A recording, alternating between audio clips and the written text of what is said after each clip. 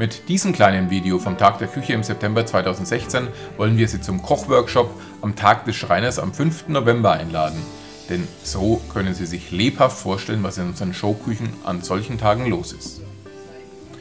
Viele tausend Menschen haben unser Plakat zum Tag der Küche in Lauf gesehen und noch viel mehr die Hersbrucker Zeitung gelesen und dann strömten sie nach Untergrumbach. Viele neue Gäste und vor allem über 20 erfahrene Küchenkunden, die zum Beispiel wie Carola oder Julia schon seit 22 Jahren Erfahrung mit Möbelmacherküchen einbringen.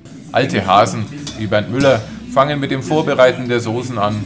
Elke Böhner zerlegt schon mal den Rehrücken, während sich die Neuen an das lockere Kochklima mit dem von Dieter aufgeklebten Vornamen und das interessierten Greifen auf den Teppanyaki oder in den Kochtopf langsam gewöhnen.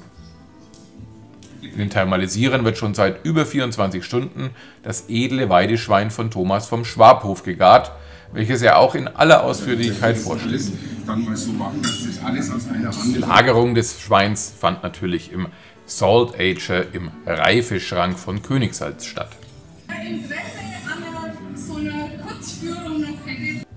Zwischendurch gab es natürlich auch für alle, die Interesse hatten, eine ziemlich komplette Werkstattführung.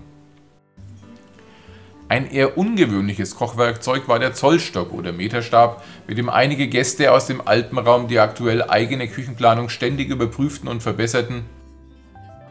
So ein Kochworkshop ist allerdings auch ziemlich anstrengend. Da muss man sich zwischendurch auch mal auf unseren Relax-Sesseln oder dem neuen Sofa Wing ein wenig ausruhen. Menschen, die auf Maschinen starren, könnte man das Kapitel mit den Vakuumierern überschreiben weil wir ein großes Spektrum vom kleinen Einbauvakuumierer bis zum großen Profigerät zum Ausprobieren auf Lager hatten und davon auch ausgiebig gebraucht machten. Und auch da hatten wir das Neueste vom Neuen, noch einen Prototyp direkt von der Messe als allererstes Einbaugerät.